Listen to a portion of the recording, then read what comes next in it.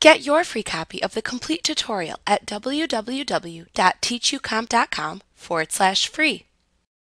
The magnetic lasso tool is a great selection tool that lets the selection's border snap to the pixelated edges of an element you trace within an image.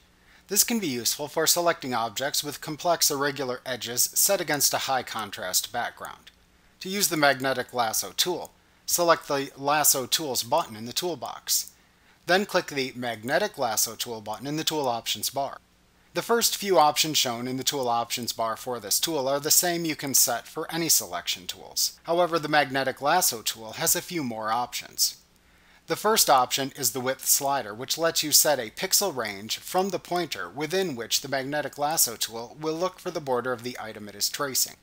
The contrast option slider lets you set a percentage to choose the sensitivity of the magnetic lasso tool to variations in the contrast between pixels.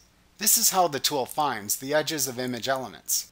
Setting a higher percentage makes the tool only find edges that sharply contrast with their surroundings. A lower percentage detects lower contrast variations in color.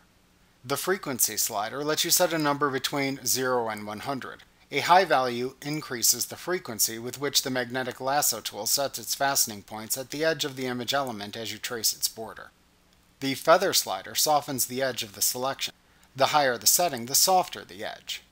If using a stylus tablet, you can click the Use Tablet Pressure to Change Pen Width button in the Tool Options bar to toggle this feature both on and off. If enabled, the button appears selected with the light gray shading in a square around it.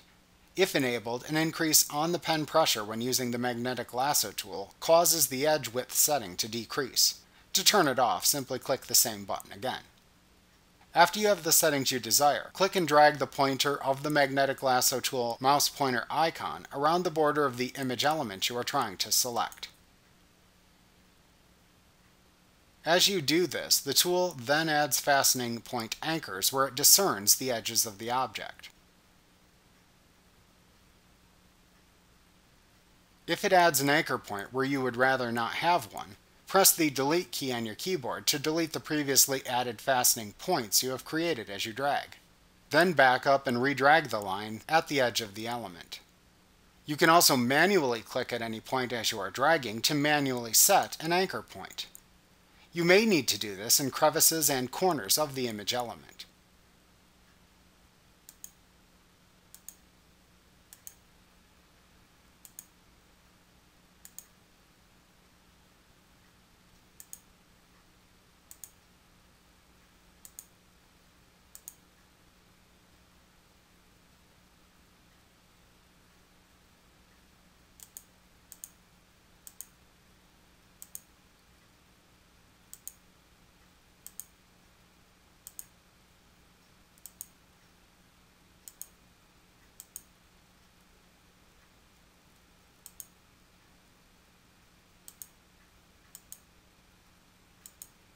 To finish the selection, trace your way back to the starting point and place the magnetic lasso tool over the origin point until you see a small circle appear next to the tool's mouse pointer icon. At that point, click to close the selection. You can also close the selection you have made by double-clicking at any point along the way, which then draws a line from the point at which you double-clicked back to the origin point.